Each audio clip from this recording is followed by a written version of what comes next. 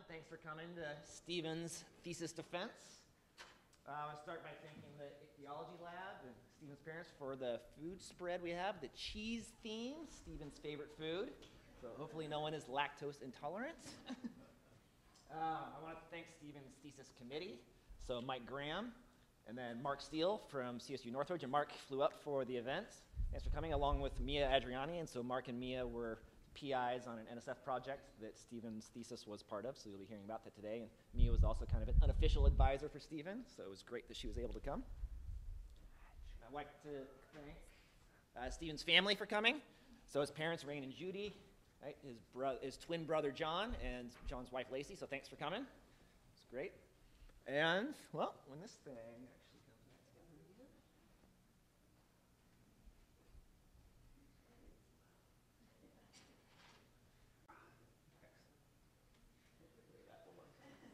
All right. So a little bit about Stephen before he does his defense. Hopefully it will work. Try to start it. All right. As you can see, Stephen has been a scholar from a very young age reading before he was one. He's got a pencil behind his ear, and if you see, this book actually was very formative to Stephen's experience growing up. He basically lives his life still by these four things. So there's four essential parts of his daily routine: peekaboo, dance, toot toot. He loves cheese and smile. So let's see. Is there evidence of this? Yes, to this day, he still plays peekaboo at every opportunity. You've ever seen him on the dance floor, this guy can cut a rug, can do the splits. I wish I had these moves. We'll, just, we'll watch that one. You can just go to the next slide if you want. That's totally fine. Uh, yeah. Obviously, a face like this tells you something just happened in that diaper. and it's the same face he makes today. So. And then there is the smile. Yes, he has an award winning smile. He knows how to turn on the charm. And along with that smile, he also has a lot of style.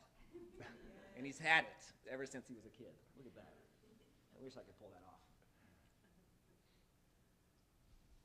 Right, He's also, when he came to interview, I could tell that his parents had done a very good job raising him with proper manners etiquette. He came, he was dressed so nicely like this, and he was so proper in the way he was speaking. I was like, ah, I don't know if he's going to fit in so well in this, you know, this lab of kind of degenerates that we have. then the, uh, you know, a day or two later, I got a handwritten thank you note in the mail, which I think is maybe the only time it's ever happened with like a hundred students that have come to, to talk to me. You know, and, and here it is. I kept it.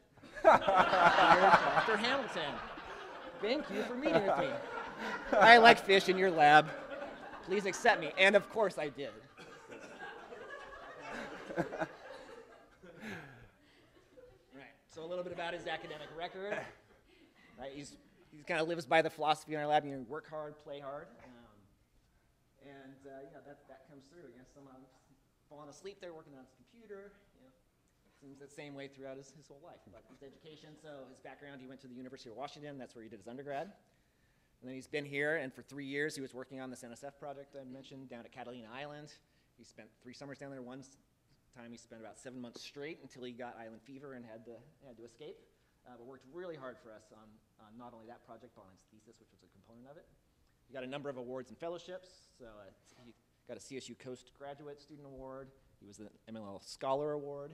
Uh, and then for the last year, he was a Sea Grant State Fellow, and he was with the Delta Stewardship Council and being exposed to you know, policy issues and kind of helping them with uh, you know, uh, advance a lot of their agenda.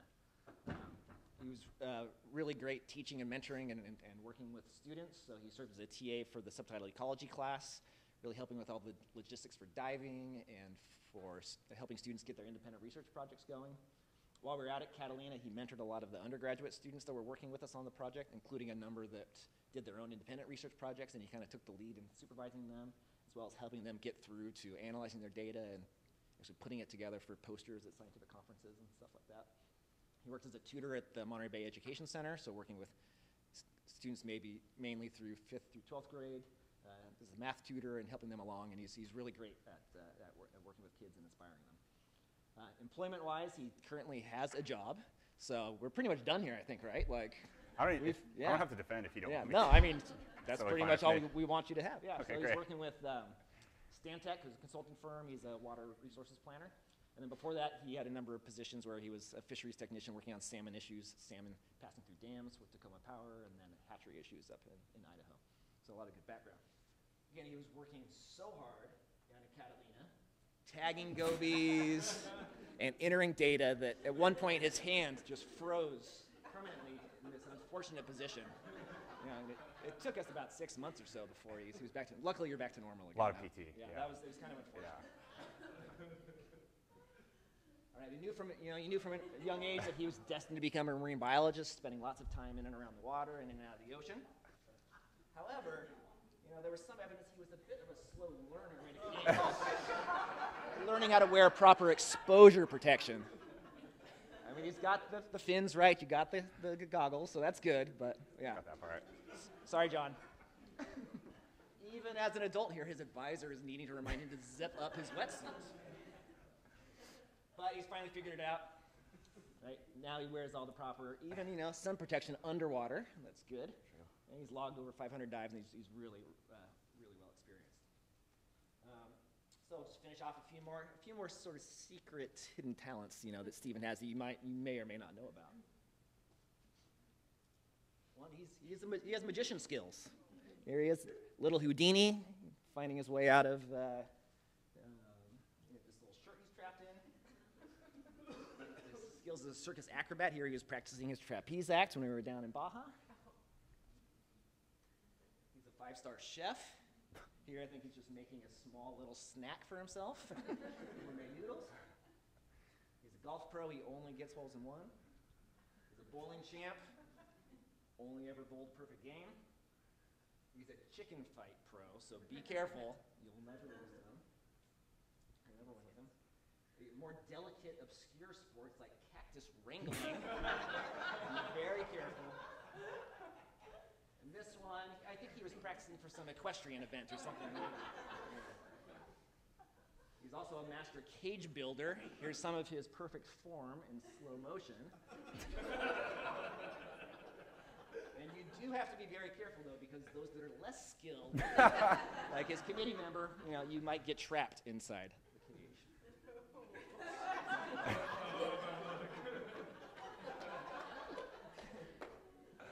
Finally, he's also, as I mentioned, he's really great with kids. Here, just examples with my own kids. You know, uh, all the time we spent in Catalina Island, he was right there playing with them all the time. He was in the lab tagging fish, holding Sydney when she was a month old. Um, you know, he spent lots of time with, with Hudson and, and you know, I really thank him for, you know, uh, for all the attention that he, he gave them. Even we had a party uh, just a week ago. Stephen was there wearing, again, the, the, fashion, the style is coming through. You know, and before the party, Hudson said, there's a direct quote, is Stephen coming over? He's my favorite. so uh, I know I'm going to miss Stephen uh, when he's gone, but I think my kids might even miss him more. So uh, thank you. And with that, Stephen Pang, the truly unique individual, come on up and tell us what you've been doing.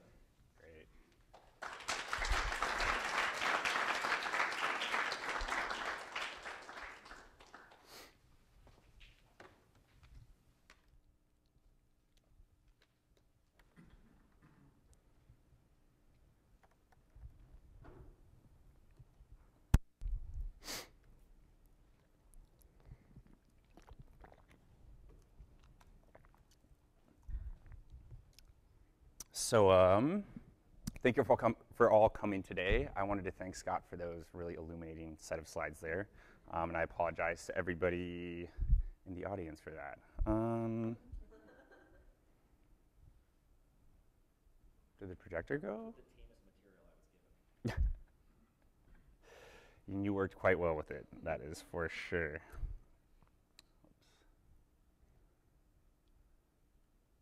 All right, so again, thank you all for, Thank you all for coming today. Uh, my thesis is entitled The Effective Sex Ratio on the Reproductive Biology of Two Sex Changing Fish. So I'm going to be focusing on Lythrypnus dalli, which are on the left there, those are blue-banded gobies, and Rhinogobiops nicholsii on the right, which are black-eyed gobies.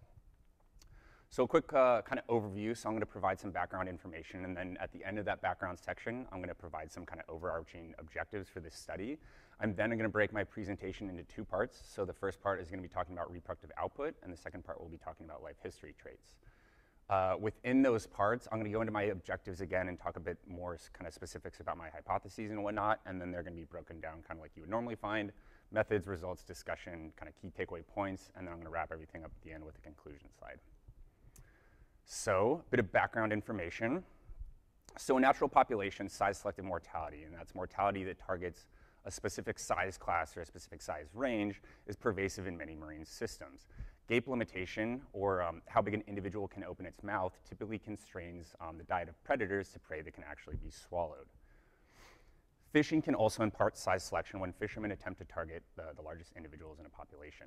And in the commercial sector, uh, this select, uh, selective tendency is typically due to the selectivity of the gear. So a large mesh size or a large hook size is going to preferentially remove uh, large individuals from the population. In the recreational sector, size selectivity may also be present if uh, fishermen are limited by the number of fish that they can catch in a single day. Um, by targeting the largest individuals in a population, anglers and spear fishermen um, are able to maximize their catch. And I did want to take a quick side note here. While there are a lot of very talented fishermen, um, I wanted to draw your attention to the empty-handed gentleman in the back there. and I was kind of hoping that would actually show up a little bit better. Oh, there we go. So clearly fishing is not, unfortunately, you know, for everybody. so just to to really drive that point home, home here, here we have that same graphic I used on the first slide. So we have a commercial, commercial fishing vessel in the top left here. Um, and this time, size, select, uh, size selection is targeting the largest individuals in the population. So it's increasing the survivorship of small individuals. Now, I kind of wanted to shift my focus really quick and um, talk about the, the type of sex-changing fishes that are going to be the focus of this talk. Uh, these types of fish are called protogynous hermaphrodites, so that means they change sex. They start their life as female and then change sex to males as they get older.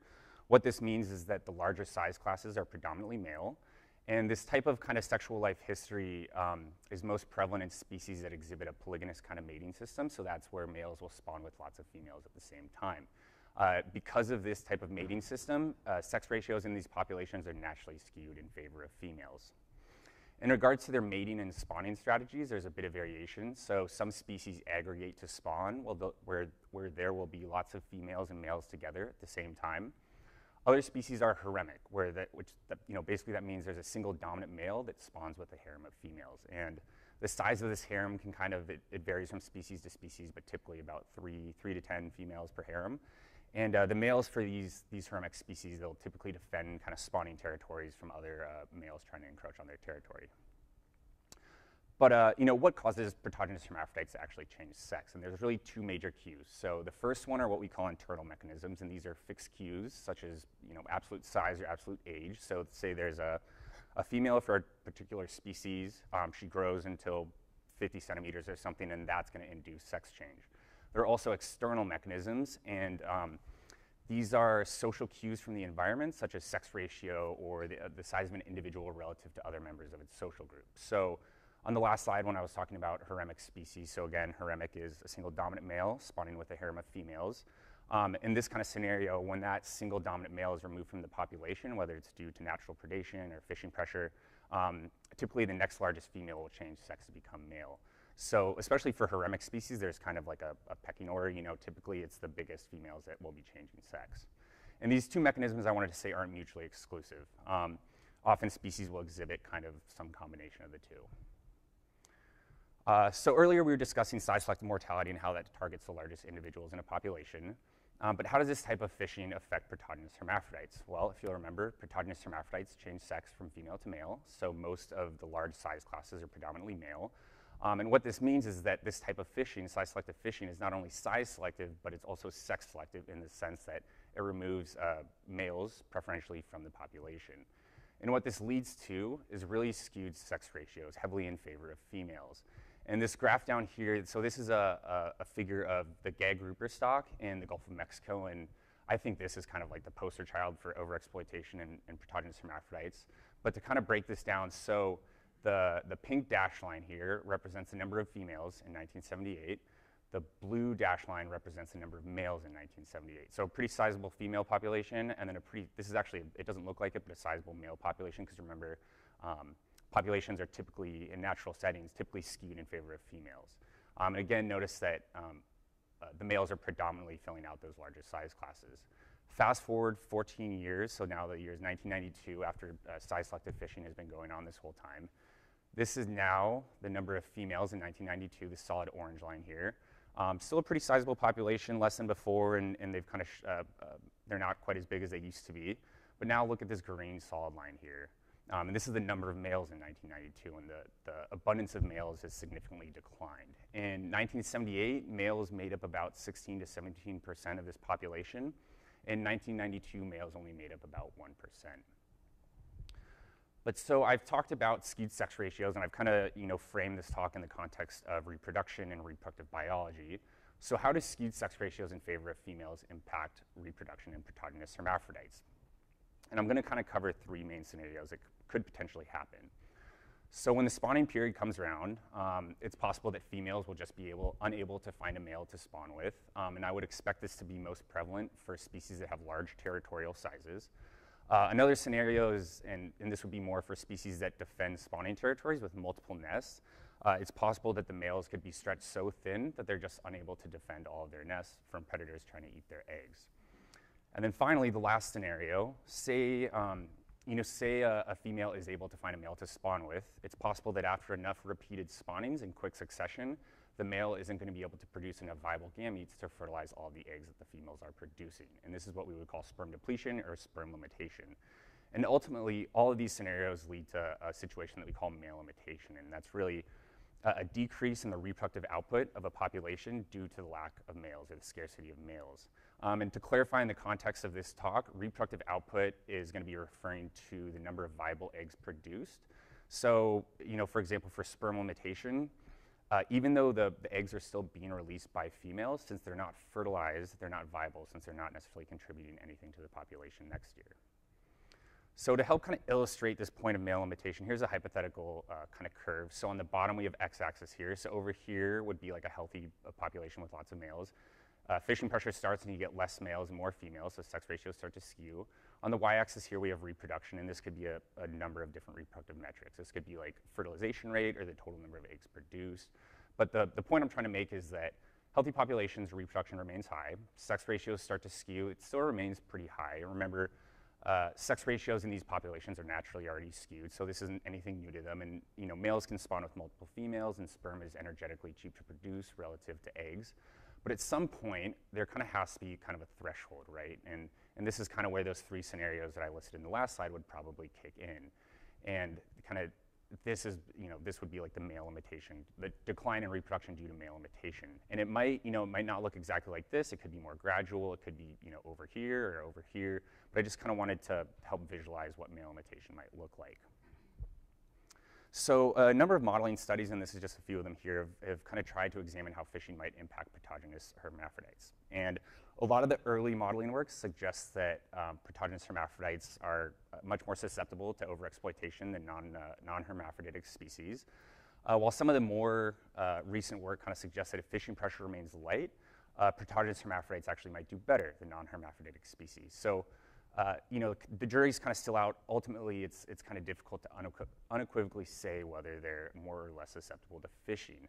With that said, very few empirical and manipulative field studies have actually examined kind of how sex ratio impacts male limitation, where that threshold, where that drop in reproduction might actually occur. And that's where this um, study comes in. So the big kind of overarching objectives for this talk, um, part one is going to be talking about the influence of sex ratio on the reproductive output of protogynous hermaphrodites. Again, I'm kind of curious where that sex ratio threshold is, where we would start to see that drop in reproduction. And then part two is going to be talking about how sex ratio and sex change influence life history traits. So for part one, reproductive output, we're looking at three major metrics. So we're looking at fertilization rate. So this would be the proportion of fertilized eggs in a population. So this is kind of hinting at that scenario of sperm limitation or sperm depletion. And I predict that as sex ratios become skewed in favor, in favor of females, we would see a decrease in fertilization rate. Again, after repeated spawnings, a male is not going to be able to produce in a viable sperm. Uh, we'll also be looking at total egg production. And this would be like the egg production for a population. Uh, I also predict that as sex ratios become skewed, total egg production is going to go down. Uh, this would be, you know, uh, could be due to, you know, females being un unable to find a male to spawn with, so they're not going to release those eggs. And then finally, and this one's a bit more intuitive, we're going to be looking at the number of nests in each population, and I predict that that's also going to go down as sex ratios become skewed. I would imagine that when there's lots of males, there's going to be lots of nests, assuming they all have one. When there are less males, there are going to be less nests. So that one's a bit more intuitive. So a bit about our methods. So like I said on my title slide, we use two species. We use blue-banded gobies and black-eyed gobies. Blue-bandeds are on the left here, and black-eyed gobies are on the right. They're both protogynous hermaphrodites. So again, they change sex from female to male, and they're a haremic species. So a single dominant male spawns with a harem of females. Uh, this varies between the two species. For blue-banded gobies, it's about three to five females per, per harem. And then for black-eyed gobies, it's about two to six. They're both territorial nest brooders, which means that the males have spawning territories and then a nest or nests within those territories that they defend. Um, the nests for blue-banded gobies typically consist of kind of rocky crevices or worm tubes or snail shells. And um, I know this is not the greatest picture. It's kind of hard to see. I've, I've kind of circled them there. Um, but I kind of wanted to represent or present what they kind of what they looked like in natural populations or where we found them. So they kind of associate with these kind of vertical faces at rocky reefs. So they'll find tubes or, or shells to make their nests in there. For black-eyed gobies, they typically associate with kind of the, or kind of at the interface between a rocky reef and a, and a sand patch. And their nests typically consist of a, uh, like a little chamber beneath kind of some sort of hard substratus. So like a big rock or a boulder or some sort of shell or something. Um, and how the, the kind of reproductive process works is basically the males will have their uh, defend their nests. There's some courtship behavior that, come, that goes on, and the females will come in and deposit their eggs, after which the male then fertilizes the eggs. And because they're pair spawners, it means that there's only one female in the nest at a time. But I did also want to make it clear that multiple females will lay their eggs within the same nest. It's just one female is depositing her eggs at a time, though. Um, we picked these two species due to differences in size. So the biggest black-eyed gobies that we really worked with were like 83, 82 millimeters. Um, the biggest blue-banded gobies I think were about 42, 43. Uh, but these differences in size and consequently differences in fecundity and territory size and nest size could all kind of impact how these species um, respond to skewed sex ratios, and they might respond differently because of, of the things I just mentioned. But a little bit about our study site. So we worked out of two harbors on beautiful Catalina Island, so it's out in the northwest end, northwest end here. And then we did our work out of the Wrigley Marine Science Center, which is a USC um, uh, education and research facility owned and operated by USC. And we did the vast majority of our work uh, out in Big Fisherman's Cove here, and you can actually see it down here. It's right in front. It's just kind of cut off, but these are the, the lab facilities up here as well. And before I jumped into kind of the nitty gritty detail of our design, I kind of wanted to provide a, like a high level overview of what we did. I think it'll make it a bit more, you know, a bit easier to understand as we're going through it. But the general idea was to build a bunch of artificial reefs on Big Fisherman's Cove, Big Fisherman Cove, excuse me, Murray. Um, we then collected a bunch of gobies and put them on those reefs at varying sex ratios. So this up here would be like a balanced uh, reef with lots of uh, with lots of males and females on it. Down here would be an example of a, like a really skewed sex ratio, a, a population that's been under heavy you know, uh, fishing pressure exploitation. So we have a single male with lots of females. And the idea was to go back and check for nests or check for eggs, and that's gonna kind of be how we quantify reproductive output. So a bit more detail. So I also want to make it clear that um, the experimental design for both species, for both blue-banded gobies and black-eyed gobies, was virtually identical except for one small detail um, and I'm going to go into that in a few slides. Um, but they occurred in different years, so it's not like the blue-banded gobies and the black-eyed gobies were on the reefs at the same time. We did blue-banded gobies in 2016 and then black-eyed gobies in 2017. Uh, a uh, bit more about the actual design, though. So we built 20 artificial reefs in Big Fisherman Cove. Um, you can see in the schematic down here, and then I kind of uh, outlined where they would be on the, the picture up here as well. We put 20 fish on each reef, 20 gobies on each reef, and these were densities that were representative of what we found out in natural populations. We had 10 sex ratio treatments, so since we had 10 treatments in 20 reefs, each treatment had two replicates. And then the sex ratios range from our balanced treatment of 10 males and 10 females all the way down to one male and 19 females. So that one male, 19 female treatment is our really skewed population. And then we filled out all the sex ratios within those um, within those two. So we had a, a, two male and an 18 female treatment, a three male and a 17 female treatment, and so on and so forth.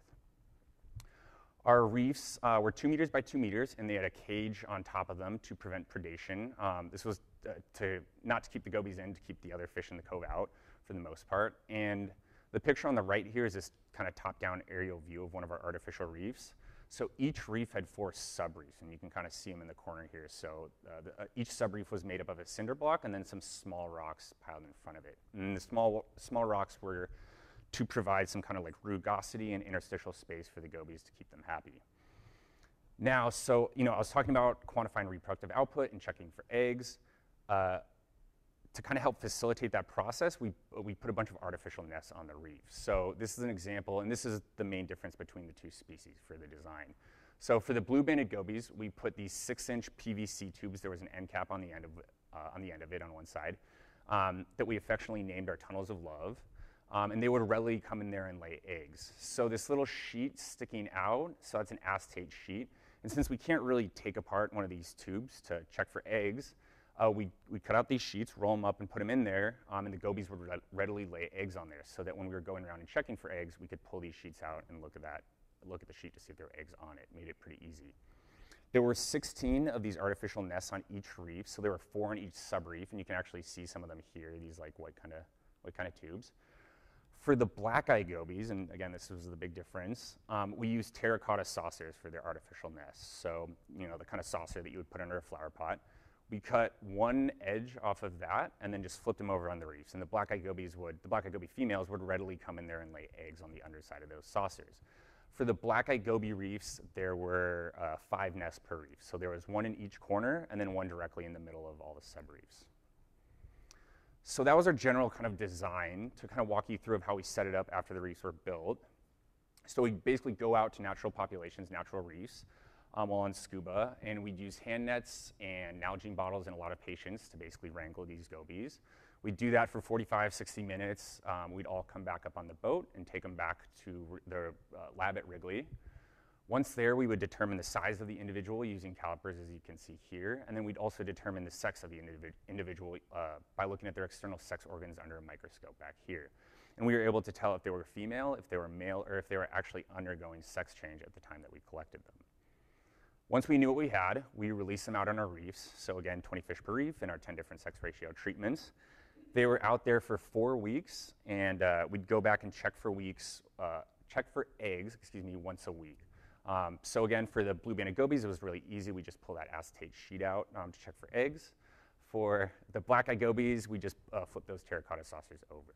If we found eggs, we'd go ahead and take a picture of them so that we can look at them later, and this is how we quantified reproductive output. So once we had all of our pictures, uh, we loaded them up in image processing software. So this is an ImageJ actually. So this is a blue-banded goby nest. So all those little orange dots um, are individual eggs. And this is actually a really, a really full nest. Not all of them were, were this big. Um, but for the blue-banded gobies, we just go through and individually hand count them. So this is what the finished product would look like for one of those.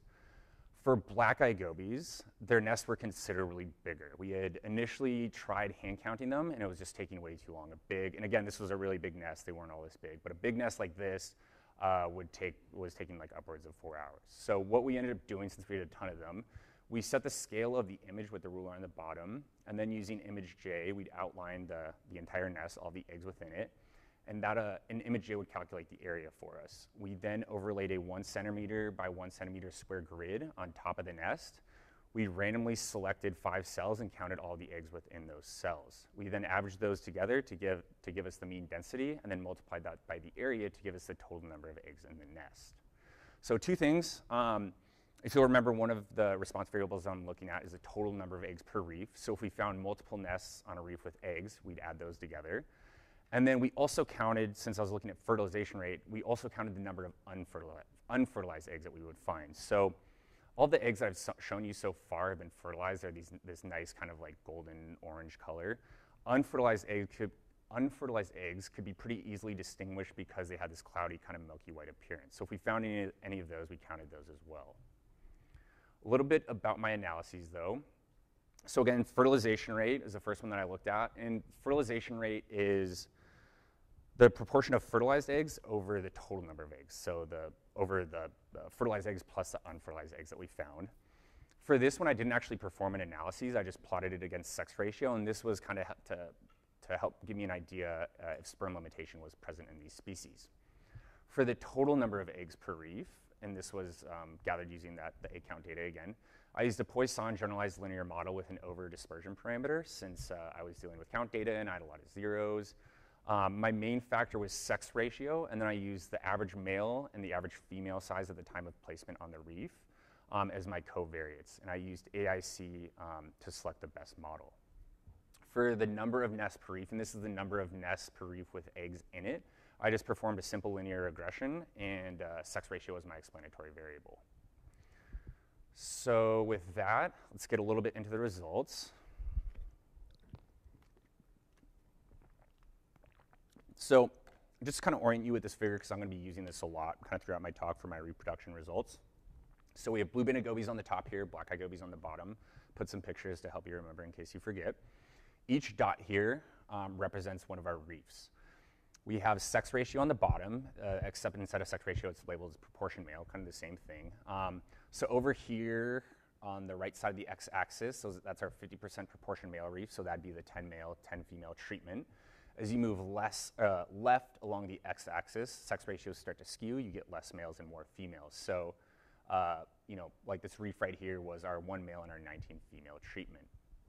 For this figure and this figure alone, you'll notice there's one, uh, one reef over here. We actually didn't have a reef with zero males. Um, I just plotted this specifically so that we can kind of get this mating function or this fertilization curve.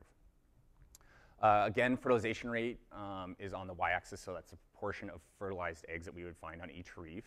And as you can see, um, fertilization rate remained high for both species. For, uh, well, for blue-banded gobies, it was 100% for all of our reefs. We didn't find any unfertilized eggs. For black-eyed gobies, uh, there were a couple reefs where we found unfertilized eggs, but even on those reefs, um, the fertilization rate still remained really high, about 80% or above. So for the total number of eggs per reef, um, Again, same setup, sex ratios on the bottom, more males on the left, skewed sex ratios over here, and the dashed lines represent non-significance. Um, the total number of eggs per reef uh, did not change significantly with sex ratio. There was a slight upwards trend in the number of eggs produced as sex ratios start to become skewed, but again, this was non-significant. For the number of nests per reef, and uh, this is the number of nests per reef with eggs in it, um, same setup, sex ratios on the bottom. Uh, the total number of total number of nests per reef did not change, change significantly with sex ratio either. Most reefs from both species had about one to two nests on them. So, quick results section. I'm going to get in my discussion now. It takes a little bit longer. Um, so if you remember from the intro, here's that kind of hypothetical curve that I had proposed that is what you know male limitation might look like. Um, I predicted that you know fertilization rates or reproduction would remain really high, after which there'd be kind of this sex ratio threshold, and reproduction would drop. And at least in regards to, fertilization rate, we didn't really see that. Um, fertilization rates remained really high for both species. So why, you know, what might have impacted the results that we saw? If you'll recall from the introduction, so uh, some protogynous species aggregate to spawn. So there's lots of females and lots of males together at the same time. And a lot of the previous modeling work that has predicted sperm limitation in these species has focused on aggregate spawners. And when you have lots of males together at the same time, the prevalence of sperm competition is pretty high. And what I mean by sperm competition is that essentially all these males are competing to fertilize the same amount of eggs, right? So since releasing a lot of sperm uh, would kind of increase the chance of likelihood, it's possible that this type of mating strategy or spawning strategy um, encourages high level of sperm release early on in the spawning period. So you'd imagine if a female is coming through later in the spawning period and is trying to you know, release eggs and get them fertilized, if all the males have already depleted their sperm stores, um, you know, she's not going to be a very happy camper. Um, so this could be some indication of sperm, you know, sperm limitation or sperm depletion in these species. By contrast, um, some protogynous pair spawners in the tropics exhibit a strategy that researchers have termed as sperm economy. And essentially what this means is males are able to regulate the amount of sperm that they release. So one example um, might be that a male will release more sperm if he's spawning with a female that's really large because she's you know, probably going to release more eggs. Uh, by contrast, uh, that, that same male will release less sperm if it's a smaller female partner. And while these species exhibit a different uh, kind of the species that exhibit uh, sperm economy, they have a slightly different spawning strategy than gobies. So they actually, there's some courtship behavior that goes on and they rise up in the water column and then release their gametes simultaneously. And if you remember, blue-banded gobies and black-eyed gobies spawn in nests. The important thing is that they're pair spawning. Both of these, both my gobies and both these species that practice uh, sperm economy are pair spawning. So there's only one male and one female spawning at the same time. So while it's unclear if my gobies exhibit the kind of same phenotypic plasticity of, of some of these uh, you know, males that are able to regulate their sperm release, uh, it's possible that that pair spawning strategy might kind of indicate why we didn't really see sperm limitation in my gobies. So we didn't really see sperm limitation, so here's the total number of eggs produced per reef again. Um, but what about male limitation? And, and, honestly, looking at just the number of eggs produced across all of my sex ratios, it doesn't really look like that. It remained fairly consistent across all of our reefs.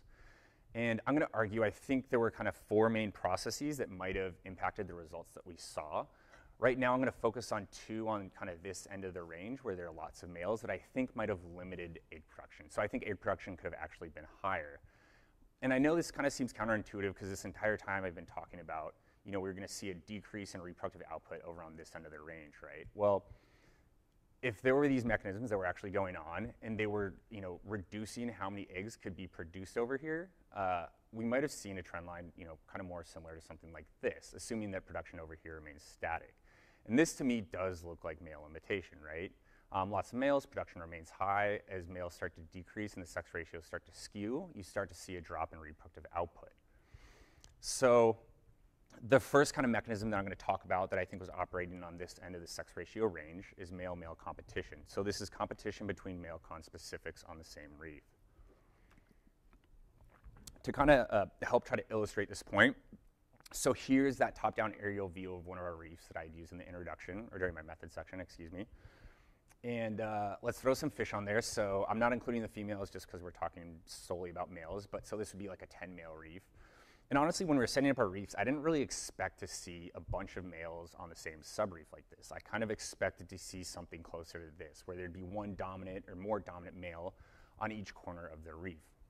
So as we started collecting data, you know, I was kind of expecting to see at least four nests per reef, four plus maybe for the blue-banded gobies, because if you remember, they had multiple nests within the same corner. Um, and that wasn't what we saw. We were seeing one to two nests per reef for the most part, for the most part across all of our reefs. And I think that the limited number of reefs may have been due to big males suppressing other subordinate males um, from establishing their own breeding territories. And this is actually something that's pretty well documented in um, territorial species where relative size often determines the outcome of agonistic interactions. So my thought process for why this might have limited production is basically, you know, a limited availability of nesting sites could mean less places for females to deposit their eggs, um, which would ultimately, uh, you know, result in a decrease in total reproductive output. Um, and while it's unclear how many males were able to monopolize a reef, I do think it was more than one, since we saw a lot of reefs with two nests. Um, but beyond that, it's kind of difficult to say, since we weren't um, you know, out there observing these species you know, all of the time. We basically put them out there and, and let them do their thing. So another mechanism that I think might have limited uh, egg production um, when sex ratios were pretty balanced was female preference and, and female selection. And mate preference is actually something I've been dealing with firsthand these past couple years, unfortunately. Um, for anybody that knows me, um, I've been absolutely smitten with Scott since day one. And despite my best uh, you know, attempts at wooing him, uh, he was continually rebuffed my advances and instead preferred or selected his wonderful wife, Brianna. Honestly, it's probably a good call on his part. I can't really blame him there. Uh, a bit more seriously, though, um, female preference and selection. So, uh, a lot of the previous literature suggests that blue-banded and black-eyed goby females um, prefer to spawn with, with large dominant males, and this is irregardless of male density. Uh, furthermore, the polygamy threshold model suggests that a female that uh, mates with a male that is already spawned, so a male that already has eggs in his nest, gains a number of additional benefits. There's an increased parental investment, so the parent here would be the male. There's a reduced risk of filial cannibalism, so that'd be where the, the male consumes his, the, the eggs in his nest. Uh, and then finally, you know, a big nest is just a, a, pretty good sign of good genes. So if all the females are flocking to this single male, um, it's, not it's, it's possible that not all of them would be able to deposit their eggs, and this would ultimately limit total, uh, total reproduction. Um, and this could happen for something as you know, simple as uh, a limited amount of nest space or something. So, so far I've kind of focused on this end of the sex ratio range over here. Um, and you know, I think these two processes were going on and might have limited production over there, kind of masking the effects of male limitation potentially. But now I kind of want to shift my focus to the other side of the sex ratio range. So again, sex ratios with few males and lots of females. And if male-male competition was really kind of limiting egg production on reefs with lots of males, um, I'd expect that as you move left along the x-axis and there are less males and that competition is relaxed, I kind of would have expected egg production to go up. So I kind of would have, kind of would kind of would have expected um, to see a trend line kind of similar to this, which is not what we saw. And I'm going to argue I think there are two other kind of processes going on, on at this end of the range that might have limited the number of eggs that we saw over here. So the first one that I'm going to talk about is an indifference or an inability of males to, uh, to establish multiple nesting sites, um, especially on the reefs where there was really only a single male.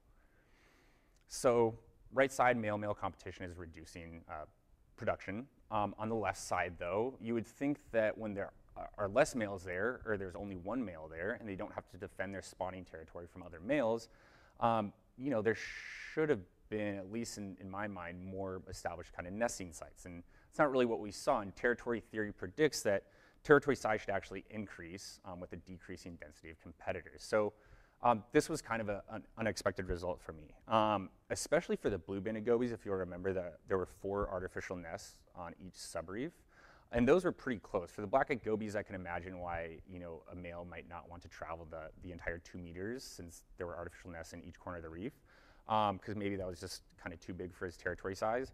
But for the blue-banded gobies, those artificial nests on that subreef were only six, seven, eight inches apart. Um, so I was kind of surprised that, that they didn't establish multiple nests. And, and why they didn't still kind of remains unclear. It's, it's possible that they didn't think they'd be able to defend uh, all of their nests from predators. Uh, it's possible that they just didn't think the increased energy investment of caring for multiple nests uh, was really worth it. And it's, it's kind of tough to say. Um, but if males weren't establishing multiple nests, you'd expect that the one or two nests that were really full would be like completely full with eggs, right? So um, lots of females, it would seem like most, if not all, would probably get a chance to deposit their eggs um, and really pack that nest full. And again, that's not really what we saw. I kind of touched on it during my method slide when I was showing you guys uh, the pictures of the eggs that we were counting. Um, we did see a lot of nests that were really full, but we also saw a lot of nests that had lots of room for egg deposition still. And I think that female-female competition might explain why we didn't see higher production numbers on this end of the sex ratio range. So similar to male-male competition, um, it's possible that reproductive output was kind of controlled by a few large dominant females. Um, this type of competition is, is well documented in haremic angelfish, where uh, dominant females will interfere with the um, spawning time of subordinate females, and this you know, ultimately results in, in kind of subordinate females getting turned away and, and not contributing to the population. Uh, in this study, it's possible that uh, female uh, blue-banded and black-eyed gobies weren't able to spawn. They instead just reabsorbed those eggs and allocated that energy instead to something like somatic growth or future egg production or sex change. So ultimately, I think these kind of four mechanisms that I've laid out for you may have been impacting some of the re results that we saw. And I did want to say that even though I introduced them on specific ends of the sex ratio range, um, I think it's very possible that a lot of them were uh, kind of occurring concurrently, and it, it, really makes it difficult to disentangle kind of all the effects. Um, you know, it's entirely possible that female-female competition was also going on at this end of the sex ratio range. I think that was one of the big limitations of this study, is that since we weren't constantly monitoring them, we didn't get to see if there actually was male-male competition. We didn't see if there really was female preference or selection. Um, but you know, I think these are my best guesses based on previous literature and just kind of with some of the results that we saw. Um, but yeah, it's kind of a complex interplay, I think, between a lot of these um, that makes it difficult to kind of break it all down. But that kind of wraps up my reproductive output section. Um, so kind of the big takeaways, uh, male and sperm limitation wasn't present in either species. Um, I, and I think things like competition, mate choice, um, and whether a species like aggregates or pair spawns um, is pretty important when you're kind of assessing protogynous populations. To revisit my hypotheses here, I predicted that as sex ratios became skewed in favor of females, fertilization rate would go down. Uh, that was not true, it remained high across all of our treatments. I predicted that total egg production would also go down. Again, that was not true, it remained pretty consistent across, all, uh, across all of our reefs. And then finally, I predicted the number of nests per reef would go down. And again, uh, that wasn't really true. It was consistent across all of our treatments. So that kind of wraps up part one. Now I want to get into part two that's going to be focusing on life history traits. Um, and this part is, is uh, considerably quicker, so just bear with me, we're almost there. So a bit more details. Um, we wanted to find out how the proportion of sex change changes with sex ratio. And we were also interested in how growth rates might be influenced by sex change. And I predicted that as sex ratios become skewed in favor of females, the proportion of sex change per reef would go up. So this is the number of females on each reef that would be changing sex. And I kind of thought this, if you'll remember from the introduction when I was talking about internal and external mechanisms that regulate sex change. Um, this is kind of hinting at that I think there might be some kind of external mechanism going on, because external mechanisms are, again, kind of social cues from the environment, such as sex ratio or, or the size of an individual relative to other members of its social group. Uh, in regards to growth rate, I've uh, hypothesized that individuals that attempt sex change will have the fastest growth rates, and this would probably allow them to compete with uh, other individuals better, other males better once they, once they change sex. So a bit about the methods for this section. I want to make it clear. Um, so the methods from, or the data and the results that we're going to be talking about here were pulled from the methods in part one. Um, there was kind of one little detail that I didn't talk about, or two little details, I guess, that I'm going to go into more now. Um, but yeah, I just want to make it clear that the data here are using the same fish on the same reefs at the same sex ratios that we, as, that we did in part one. So we'd go out there, we'd collect fish, we'd bring them back to the lab, determine the size and the sex of them. And one thing that I didn't mention is that we tag them afterwards. And we tagged them with uh, two tags that allowed us to determine the size and the sex of the individual when we initially caught them and placed them out on the reefs so that at a later date, um, we could figure out you know, how fast they were growing and whether or not they changed sex. So we tagged them with visual implant elastomer, which is this gel that we would just uh, inject underneath the skin and then it hardens after a set amount of time. Um, so the bottom tag down here, so this is the sex tag. So since it's blue, it's a male, and that tag above it is a size tag. So this is a, actually a 23 millimeter male. So this is actually a pretty, uh, pretty small fish. So I'm assuming that this is one that Scott probably caught, because if you'll remember, he's not really the strongest fisherman. He's been a great advisor otherwise, though. But so once they were tagged, um, we put them out on our reefs. We left them out there for four weeks. And again, um, you know, during that time, we were checking for eggs, and that was the data that we used to get the results from part one. Uh, another thing I didn't mention is after that four-week period, we went out there and recollected them.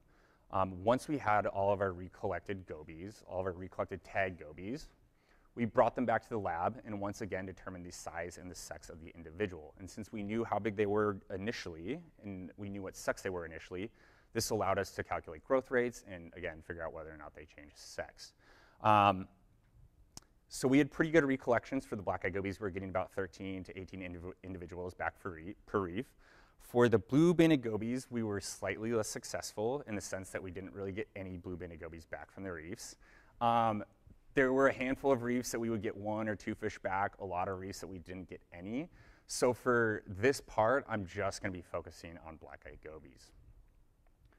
So for my analysis, um, again, one of my response variables is the proportion of sex change per reef. So when I calculated this, males were excluded since they can't change sex. They've already changed sex once. Um, so maybe I'll just give an example. So say we got 20 fish back per reef. Uh, initially, five of them were male and 15 of them were initially female. Of those 15 females, five of them changed sex to male. So the proportion of, of sex change for that reef would be 33 percent. Um, so I just wanted to make it clear that males were excluded from, from this uh, response variable. I performed a simple linear regression and then had sex ratio as my explanatory variable. And again, this is the same sex ratios as we used in part one.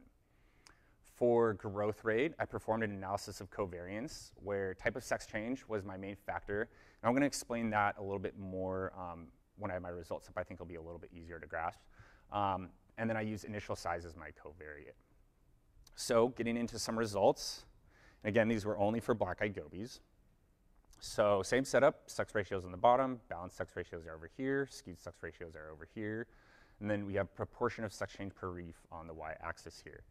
Um, so the number of females that changed sex increased significantly as sex ratios became skewed in favor of females. So less females are changing sex over here, and more females are changing sex over here for the growth rate. Um, and so this was where my main factor was um, the type of sex change. So This red bar here are females that didn't change sex, so we put them out there as females, recollected them as females.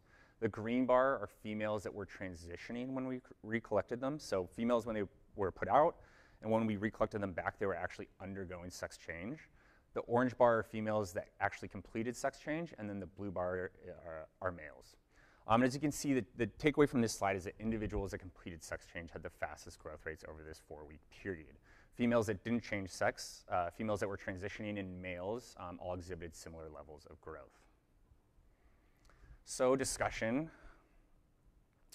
Um, sex change occurred, again, most frequently as sex ratios became skewed in favor of females, and this seems to indicate that sex range in black-eyed gobies, um, at least to some extent, is kind of governed by these social cues or these external mechanisms. And this isn't super surprising. A lot of temper uh, temperate and tropical species um, exhibit sex change mechanisms that are uh, based on external cues. Um, this suggests that black-eyed gobies uh, would probably have some way to compensate for skewed sex ratios and would probably be less susceptible to male limitation uh, than a species that only changes sex based on internal cues. And this is, this is what we saw in the first part as well. Uh, with that said, it's entirely possible that black-eyed gobies also had some sort of an internal mechanism regu regulating their sex change. If you'll remember, the two are not necessarily mutually exclusive. Um, but the way this experiment was set up, it's a little bit tough to tell. For growth rate, so females and males both exhibited similar levels of growth to transitional individuals. And this isn't super surprising for the females and the males. Um, large males are already established. Um, they already have possibly uh, kind of spawning territories. So they would probably allocate that energy instead of somatic growth, probably to something um, like defending those territories or possibly nest care or courtship behavior. Um, for the small females, if you'll remember, or for, excuse me, for the females that didn't change sex, um, if you'll remember from the introduction when I was talking about haremic species, there's kind of a pecking order within the harem, right? So the largest females are going to change sex. If these are small females, um, it's not surprising that they wouldn't try to change sex, but instead allocate that energy to something like um, future egg production or something like that. Um, individuals, again, that changed sex or completed sex change grew the fastest. Um, and I thought it was kind of interesting that transitional females actually exhibited growth rates pretty similar to females that didn't change sex. And this seems to indicate that there's kind of a burst in growth rate immediately following sex change, but not during the actual transitional process. And this burst in growth is actually something that's pretty well documented in a number of species. So this figure below is an increment otolith width profile of cylindrical sand perch. Um, for those that might not know, so otoliths are, are ear bones in fish that essentially have an isometric relationship with somatic growth. I'm kind of simplifying a little bit. But you know, as the otoliths get bigger, so do the fish. So this figure is essentially showing us that, so this is the timing of sex change here, zero days since check mark. Um, this is before sex change, after sex change. Growth rates before sex change remain relatively consistent. Immediately following sex change, there's, there's this really you know, large uh, increase in how fast they're growing. Um, and Walker and McCormick, who did this study, found that this kind of burst in accelerated growth lasts for about 30 days, after which point it kind of uh, tapers off and then declines. Um, and what this burst in growth does is it allows newly transitioned males to compete with other existing males. Um, and it also allows uh, them to establish dominance over other large females that could be thinking about sex change. So with that, like I said, this section was quick. Um, the kind of key points, sex change appears, uh, at least appears to be governed by social cues in black-eyed gobies. Again, um, there could be some sort of internal mechanism as well. It's kind of tough to say. And growth rates were highest for individuals that actually completed sex change but weren't transitioning. So as sex ratios become skewed in favor of females, I predicted that the proportion of sex change would go up, and that was right.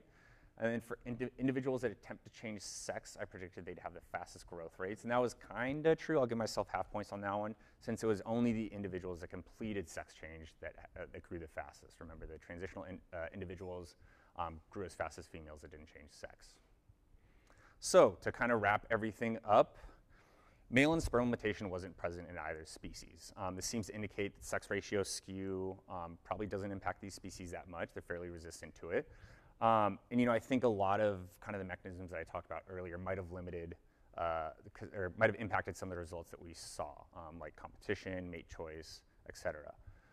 Uh, black-eyed gobies exhibit a lot of life history traits that are similar to other protogynous species. So sex change is, is kind of governed by social cues, at least to some extent. And then that after that sex change, there's an accelerated burst in growth, which makes them more competitive.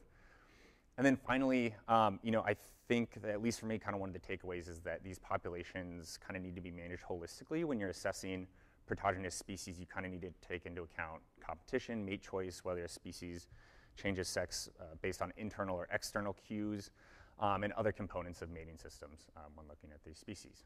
So with that, thank you. I have a ton of people to thank. Um, first, I want to thank Mike Graham. Um, he's obviously a huge Goby enthusiast as well. Um, Mike was uh, super helpful when I was developing my methods um, and my analyses, and his, his methods class that I took with Jim was, was one of the best classes I've ever taken here. Um, I've been a huge proponent for it. I encourage everybody to take it.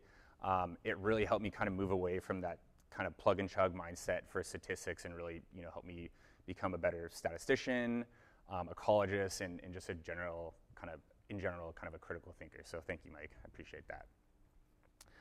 Mark Steele, also known as Goby Whisperer. Unlike my advisor, Mark is actually an accomplished fisherman. Um, he made a cameo earlier on in the introduction, so here he is with his uh, world record still at the time. We'll call it a world record still. Um, 68 pound yellowtail uh, back in 1990, I believe. Um, also, not, you know, not only an accomplished fisherman, a longtime supporter of the Elk Grove Thundering Herd. Go Herd. Um, but Mark has done so much work out of Catalina with gobies, and that's why we call him the Goby Whisperer. I think he's been doing work out there for eight or nine decades now. So long, long, long time, right? Yeah, yeah, yeah, yeah. Um, but he's great. You know, when I was um, setting this up and working through my results and my methods, um, he was an absolutely invaluable resource. And one thing I didn't mention, so Mark and me are both PIs on a larger Goby project that was going on at the same time that I was out there. And my male limitation stuff was kind of a subset of that. So in addition to my 20 reefs, there were another 49 reefs that were going on, so that's why they were out there. So total, we had 69 reefs. Um, and the first season that we were out there, um, it just was like kind of bust. Like we couldn't keep fish on the reef. The ones that we could keep on the reef um, were just not reproducing. Um, and it was really cool kind of, you know, seeing Mark and the other PIs kind of like work through potential problems and solutions. Um, so that was really neat um, being involved with that. Um, I also have a lot of respect for him for putting up with me for three months straight for multiple field seasons in a row. Um, I do think my constant presence had an effect on him, though. Um, this was after our first field season on the island. This was only like three weeks in, and you can already see like a noticeable decline in his mental well-being. Um, yeah. Uh, but thank you, Mark. Um, you've been great throughout this whole process. I really appreciate it. Last of my committee members, and certainly not least, is my advisor, Scott Hamilton. I feel like I should have caught that during a practice talk. This is actually Olympic gold medalist and Olympic commentator, Scott Hamilton. That is really embarrassing. I'm, I apologize. That's incredibly unprofessional. Here we go. so, seriously, Scott, um, I've learned so much from you these past few years. Um, you were the first person to introduce me to Mescal.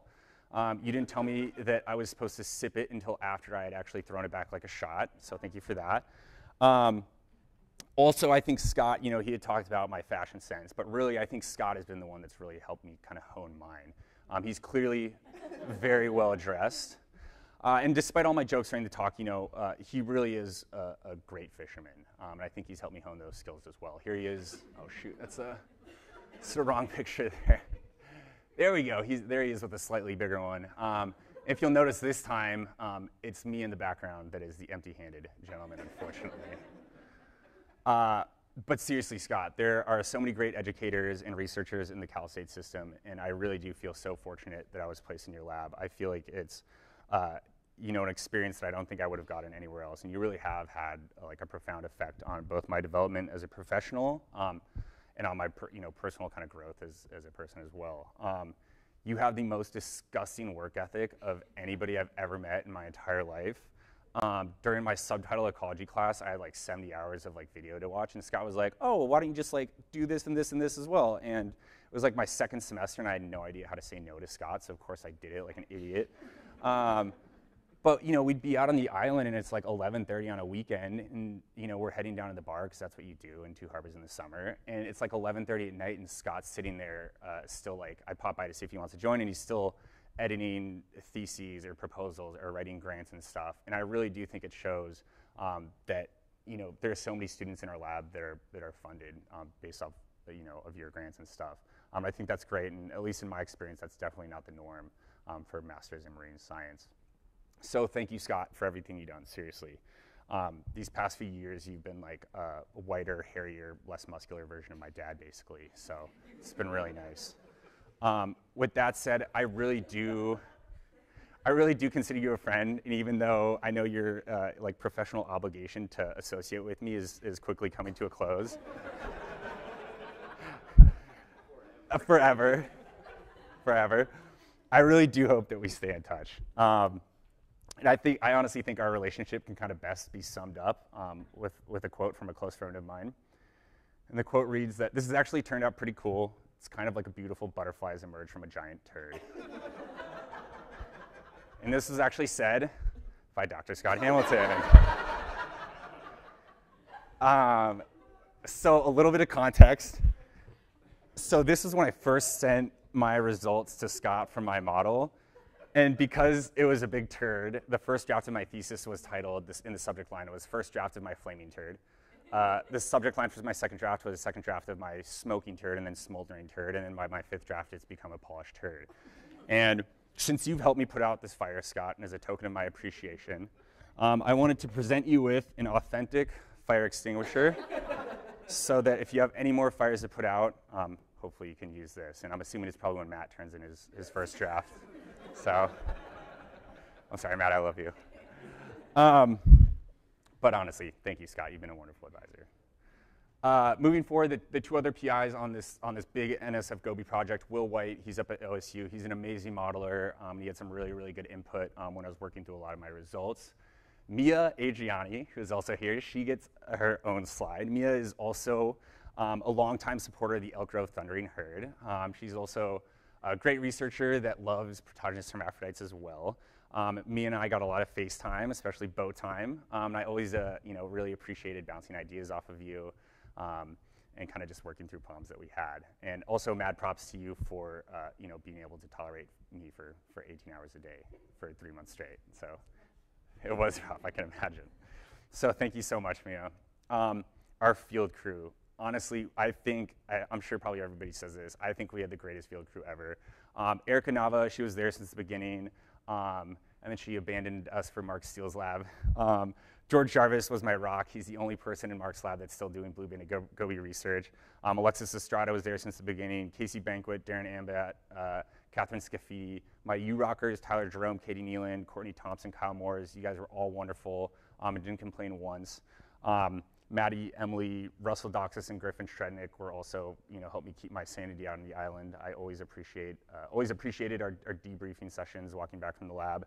Uh, Alicia, Abby, honestly, some of the goofiest, most fun people I've ever had the ple- pleasure of working with. Um, but they'd also, you know, crack down and do four dives a day and then go tag in the lab for six hours. So honestly, it would not have been possible without without these people.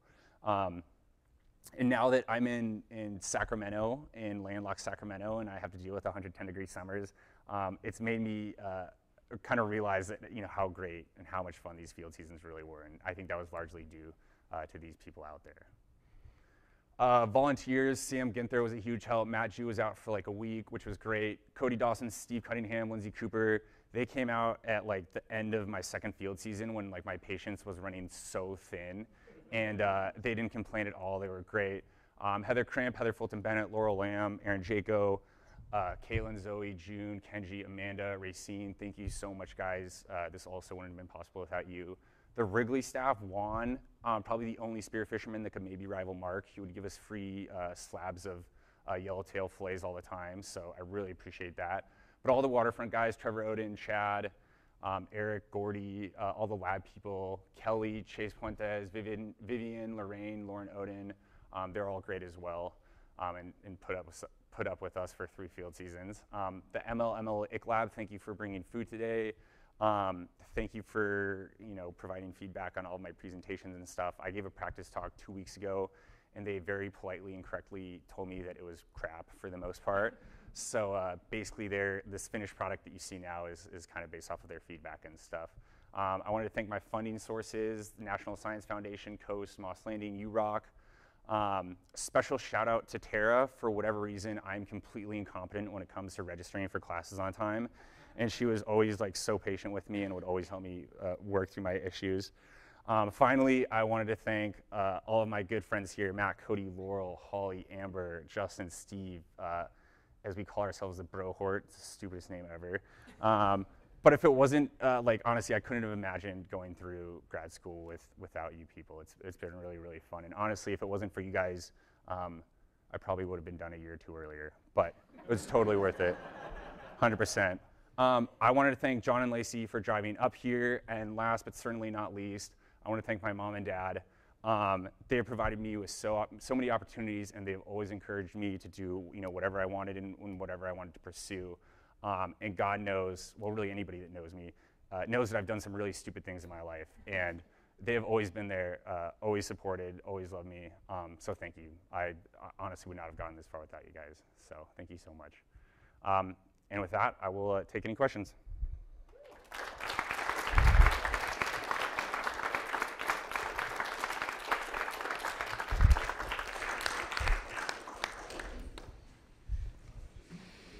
No, no. Yeah. Yeah, Amanda. Great talk, Stephen. Oh, thank you. Um, I was wondering if you think that the sex change that occurred during your study could have affected your results from the first part. Um, so, like, if the two treatments were to become more similar during the Yeah, study. yeah, yeah, yeah, hundred percent. Um, so I left out a lot of kind of like the nitty gritty details, and this might get too much, might be too much to get into right now, but I'll try to kind of go through it uh, uh, concisely. Basically, the, the reproduction results I used was only for the first week. Um, even though we were checking eggs for all four weeks um, while they were out there, and that was our intention to use all that egg data, I only used the first weeks uh, because sex ratios kind of started to, to drift from what we desired, and we were losing fish and stuff, especially for the blue band gobies. So I wasn't really confident saying that the egg production that we were seeing in weeks kind of like three and four were really representative of the treatments that we had initially established. So if I was using all four weeks of data, absolutely. I think sex change could have totally influenced the results that we saw. Um, I think that would have been interesting to, to especially for a, a kind of pulse experiment like this, to see how these populations would kind of rebound and respond. Um, but since they were only out there for a week, there's some evidence that banded gobies can change sex in as little as three days. I don't think it's super common. Um, you know, they kind of already have to be uh, uh, have a, a male kind of bias in their. Um, but yeah, if if we used all four weeks of data, absolutely, yeah, I think the, the egg results could have been effective for sure. Yeah, Daddy. Along those same lines, did you, uh, you, it seems like you have the data on the size of individual females. So could you, have you looked at your, uh, reproductive output relative to the sex ratio and factored in the size of the female? So yeah, so so that was one of my covariates in the was it was just average female size. I didn't look at all um, each individual female. Um, and we tried when we were setting up these treatments, we tried to have kind of this, a similar level of size or an average similar level of size across all of our treatments. Um, that wasn't true for some of the big treatments for some of the males. Um, since there was like only one male, um, there would be some really big females on the reef, so we had to have like a huge honker of a male to kind of establish his dominance. Um, but beyond that, you know, we tried to, to keep female size relatively consistent across all our treatments.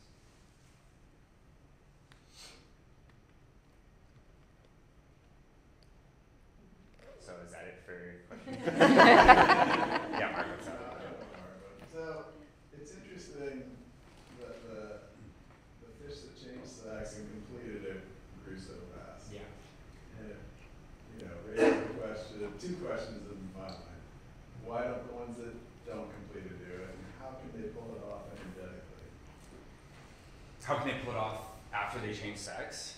Yeah, what are they foregoing? Yeah. Well, see, and this is like, you know, when I was talking about limitations of the study since we weren't observing them, you know, I wonder if they would, if there would be like a period where they would uh, kind of avoid agonistic interactions or trying to establish dominance instead to allocate that energy to somatic growth. Um, but yeah, I, I do, I do think it is interesting because there was like a sizable increase in growth rate. That would be the only thing that I could think of is they're not immediately following sex change. They're not trying to establish territories and court females and stuff. Um, but I'm not sure how long after sex change those behaviors would start to kick in again. But that would be that would be my guess. What do you think? You're the goby whisperer. And whispered back to me on that. Yes. So do you, do you think you're, there are some sort of commonly fished species that your results apply to? Like those fish species have very similar sorts of mating systems and life histories as yours, or do you think the to kind of unique the results you found are kind of unique? Yeah, um, that's a good question. Honestly, not really. Um, and I also think I didn't really touch on this during my discussion, but I, I think their kind of nest breeding strategy um, also impacted the results that we saw, and I, I think that makes it hard to kind of like scale it up to some other commercially and recreationally important fish. Um, if it is just pair spawning, if breeding didn't have anything to do with it, um, yeah, I mean, red grouper pair spawn, and, and they've actually been shown to, like in previous studies, um, be like slightly or less susceptible to kind of skewed sex ratios and stuff. They kind of maintain their reproductive output. Um, but uh, yeah, I, again, I think it's it's really tough to say without kind of taking into context all of the different components of the mating system for a species uh, when you're kind of assessing them. But yeah, I think it is. I think it is possible. Um, but I, I think you definitely have to kind of take it with a grain of salt and try to scale things up for sure for these gobies. Any other questions? Hey Matt.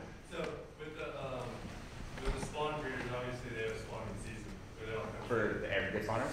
yeah. Uh-huh. Uh, but for the haremic ones, is it just year round type of thing? So that's why you can do it during the summer and not have different results as opposed to in the spring or the winter. Yeah, it depends. I mean, some species breed year round, like blue banded breed year round, although we tried to get them up and going in winter one time and we weren't super successful. Um, black eyed gobies do have seasons, but if the water remains warm enough, they can kind of breed year round. So again, it's like one of those kind of species dependent sort of things. There are some species, some pair spawners that, that kind of breed year round, but aggregate spawners typically do have kind of defined spawning periods. Yeah. All right, well, Stephen's committee needs to take him to the back room, grill him just a little bit more. So you guys enjoy the food, and we'll have him back shortly. Let's congratulate Stephen.